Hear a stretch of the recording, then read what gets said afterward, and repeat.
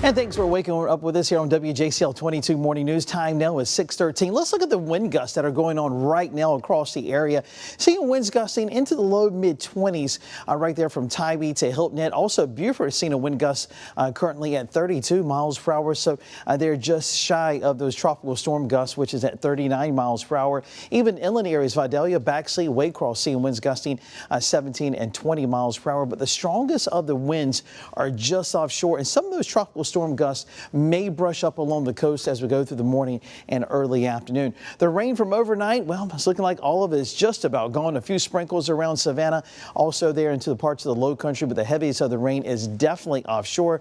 You can see where the center of Milton is, just off to the east of uh, Kennedy Space Center is moving off to the north and northeast. It'll uh, race throughout the daytime today, pulling away from the southeast coast. Notice this too, the back edge of the clouds is already nearing Vidalia, also Metter down toward Uh, Vidalia, also Hazlehurst.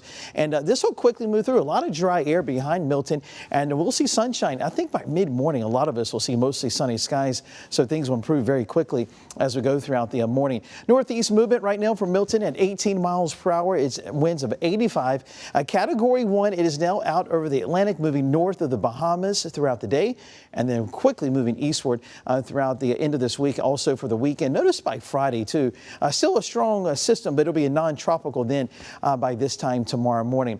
Let's look at futurecast showing you right along the coast. There's those showers uh, right around 6:30, 7 o'clock, just before sunrise. But notice after sunrise, all the rain moves out. And look at this futurecast clears us up very quickly by 9, 10 o'clock. A lot of us will see mostly sunny skies with just a few patchy clouds as we go into the afternoon. Really a nice afternoon other than those breezy conditions that we will see.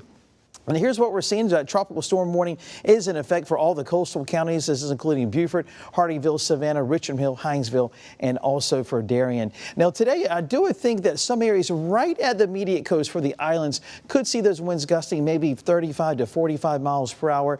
Places like Tybee Island, also Hilton Head, and also Sapelo Island, eastern parts of McIntosh County. But most of us today will see winds gusting between about 30 and 35 miles per hour. Also, there's a threat for some coastal flooding. There's a flood of advisory from 11 this morning until 5 late this afternoon. Right there along a Tybee Road, Highway 80. You know this if you live on Tybee Island, right there at Fort Pulaski, how it so easily can flood. And we may see just a little storm surge too with those winds coming in off the northeast this morning. So right around high tide today at just after 2 o'clock may make it up to 10.1 feet. Around 10 feet is moderate flooding. So the water there along Tybee Road from the Bull River Bridge going out to Tybee may see it either at the road or even cross the road road in a few spots. But after about 4 o'clock today, you do expect that flooding uh, that is out there will quickly uh, go away. As we look live, Hardeeville, a few cars here on Highway 278. Definitely a little wet. Notice a few drops on the lens of the camera as we start things off this morning. Temperature 66, north breeze at 13. A little breezy too there in Hardeeville as we start the day. Uh, impacts for us all the way into just about the middle part of the afternoon. That is due to those gusty winds we'll see today. But notice this, as we go into the afternoon, just lots of sunshine later today. Temperatures will be into the mid 70s. Making plans for tomorrow through the weekend. Beautiful fall weather is on the way. You're going to like this. 74 on Friday. Morning lows on Saturday, maybe upper 40s for some inland areas. Definitely that fall feel all weekend long. Sunshine Saturday and Sunday, 78 Saturday afternoon, 82 on Sunday. And then even next week overall is looking nice. Mid 80s on Monday out ahead of a cold front. That may give us a few showers on Tuesday. And then after Monday, temperatures really go down below seasonal average, low to mid 70s uh, throughout a good good part of next week. Uh, for the islands today, impact day could see some tropical storm gusts. There's a tropical storm warning for coastal areas.